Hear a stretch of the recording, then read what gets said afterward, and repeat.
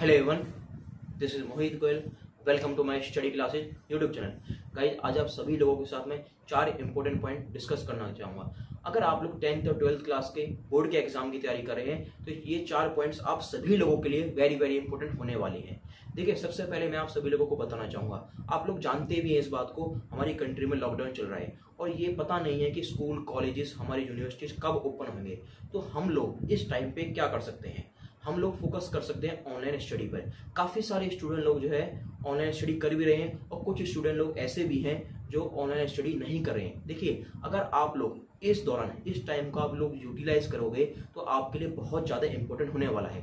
देखिए, अगर आप लोग इस टाइम को यूटिलाइज कर लेते हो, जब आपके स्कूल ओपन होंगे, मान लीजिए आपके स्कूल जो है जुलाई में ओपन होते हैं, अगस्त में ओपन होते हैं, या मिड जुलाई में ओपन होते हैं तो आपके लिए बहुत बेनिफिट रहेगा। बेनिफिट जब रहेगा, अगर आप लोग ऑनलाइन स्टडी पढ़ते हैं मान लीजिए आप किसी भी तरीके से पढ़ रहे हो, आपके टीचर्स टीचर्स लोग, आप सभी लोगों को पढ़ा रहे हैं, चाहे आप किसी भी यूट्यूब चैनल को फॉलो करें, कहीं से भी, किसी भी सोर्स को फॉलो कर रहे हैं तो आपके लिए बहुत ज़्यादा बेनिफिट हो पाएगा। अगर आप लोग ऑनलाइन स्टडी अभी नहीं कर रहे हैं, जब आपके स्कूल ओपन होंगे तो उस दौरान आप सभी लोगों पर बहुत ज़्यादा बर्डन हो जाएगा स्पेशली टेंथ और ट्वेल्थ क्लास के लिए। देखिए एग्ज़ाम तो होने हैं। चाहे आपके एग्ज़ाम एक महीने या दो महीने डिले रहे पोस्टपोन हो जाए, लेकिन एग्ज़ाम तो आपके होंगे होंगे टेंथ और ट्वेल्थ क्लास के। मैं आपके 2021 के एग्ज़ाम की बात कर रहा हूँ, ठीक है? और मैं आप लोगों को पहला पॉइंट मैंने आपको बता दिया कि ऑनलाइन स्टडी आपको कंपलसरी है मस्ट है, करनी ही करनी है। सेकेंड पॉइंट में मैं आप लोगों को लेके चलना चाहूँगा सबसे पहले सिलेबस को देखिए। बहुत सारे स्टूडेंट लोग सिलेबस को गो थ्रू नहीं करते हैं सिलेबस को देखते भी नहीं है। यहाँ तक कि कुछ इंटेलिजेंट स्टूडेंट भी हैं जो सिलेबस को नहीं देखते हैं। ये उन स्टूडेंट लोगों की ये ब्लेंडर मिस्टेक हो सकती है। ठीक है इट्स मैं हम्बल रिक्वेस्ट यू आप सबसे पहले सिलेबस को देखिए अगर आप एसएसटी पढ़ रहे हैं सिलेबस को देखिए फिजिक्स पढ़ रहे हैं केमिस्ट्री पढ़ रहे हैं मैथमेटिक्स पढ़ रहे हैं इंग्लिश पढ़ रहे हैं हिंदी पढ़ रहे हैं कोई भी सब्जेक्ट पढ़ रहे हैं आप ट्वेल्थ क्लास में हैं आप पॉलिटिकल साइंस पढ़ रहे हैं हिस्ट्री पढ़ रहे हैं ज्योग्राफी पढ़ रहे हैं कोई भी सब्जेक्ट आप सभी लोग पढ़ रहे हैं सबसे पहले सिलेबस को गो थ्रू कीजिए देखिए कौन कौन से चैप्टर्स नहीं आएँगे कौन कौन से चैप्टर के बर्डन मतलब कौन कौन चैप्टर का वेटेज ज़्यादा है जैसा कि एसएसटी आप लोग जानते हैं टेंथ क्लास में काफ़ी सारे चैप्टर जो रिमूव हो गए हैं, ठीक है? काफ़ी सारे चैप्टर जो है सीबीएसई की तरफ़ से हटा दिए गए हैं, यानी कि स्टूडेंट लोगों पर काफ़ी ज़्यादा जो एक तरीके से बर्डन कम कर दिया गया है। तो हालाँकि मैंने एक सेपरेट वीडियो बनाई हुई है एसएसटी के ऊपर जो है कौन कौन से चैप्टर नहीं आएँगे एग्ज़ाम में, ठीक है? वो आप लोग देख सकते हैं वो वीडियो ठीक है? तो सबसे पहले आप लोगों को क्या करना है? सिलेबस को गो थ्रू करना है, ये करना ही करना है। थर्ड पॉइंट में आपको लेके चलता हूँ।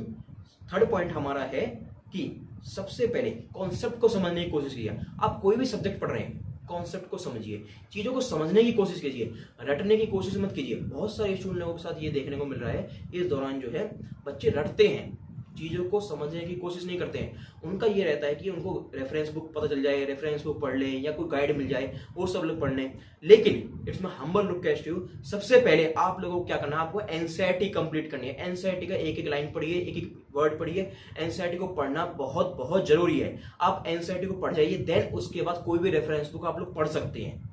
देखिए एनसीईआरटी पढ़ना बहुत बहुत ज़रूरी है आप सभी लोगों के लिए। इट्स मैं हम्बल रिक्वेस्ट यू ठीक है? अगर आप लोग एनसीईआरटी पढ़ लेते हो, कोई भी रेफरेंस बुक उठाइए, कोई भी कोई भी गाइड उठाइए, ठीक है? एनसीईआरटी को समझना बहुत ज़रूरी है। फोर्थ पॉइंट पे मैं आपको लेके चलूँगा। फोर्थ पॉइंट हमारा है नोट्स बनाइए। आप लोग, आपके स्कूल टीचर्स लोग जो हैं, आप ऑनलाइन कहीं से ही पढ़ रहे हो, कोई भी सोर्स फॉलो कर रहे हो नोट्स आपको प्रोवाइड कर रहे होंगे और साथ साथ आप अपने खुद भी नोट्स बना सकते हो। आप लोग खुद नोट्स मेकिंग कर सकते हैं, ठीक है? एनसीआरटी के इंपॉर्टेंट पॉइंट्स आप लोग, यानी कि एक तरीके से सिनेप्टिक नोट्स बना सकते हैं, खुद भी इंपॉर्टेंट नोट्स बना सकते हैं, जो आपके लिए एग्ज़ाम टाइम में बहुत ज़्यादा बेनिफिट रहेंगे, ठीक है? जो आपको बनाना ज़रूरी है। अगर आप लोग नोट्स मेकिंग करते हैं तो आपके लिए बहुत ज़्यादा अच्छा रहेगा, ठीक है? तो मैंने आपको चार पॉइंट बताए, जो आपके लिए जानना बहुत ज़रूरी है। ऑनलाइन स्टडी करनी है, जो ज़रूरी है आपको। सेकंड पॉइंट मैंने आपको बता दिया जैसे कि कॉन्सेप्ट को समझिए, और थर्ड पॉइंट मैंने आपको सिलेबस को देख सकते हैं आप। और फोर्थ पॉइंट मैंने आपको बता दिया, कि चीज़ों को समझना है, और नोट्स मेकिंग ज़रूरी ज़रूरी है, ठीक है? Thank you so much have nice day